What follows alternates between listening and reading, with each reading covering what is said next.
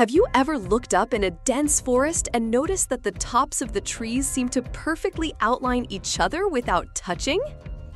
This striking pattern of channels and gaps in the canopy is a real phenomenon known as crown shyness. Scientists believe this happens for several reasons, one being to avoid physical damage from branches rubbing together in the wind.